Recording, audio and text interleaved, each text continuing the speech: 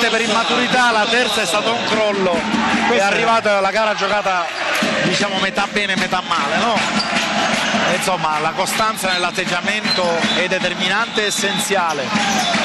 Longobardi sbaglia, arriva quindi la prima vittoria casalinga per Trapani di questa stagione, tre secondi al termine, elogi per tutti nelle fila di Trapani nell'ultima fase del match. Sì, Tessitore va a tirare, non conta più niente.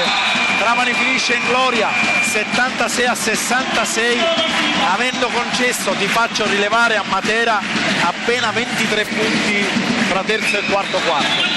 Danilo, velocissimo, sono contento, speriamo che di queste vittorie vederne ancora tante. Finisce Ok, 76, grazie a Sandro 76. Pastavino, grazie a Fabio Tartamella. 66, grazie a Danilo Salti, appuntamento alle prossime gare del basket Trapani.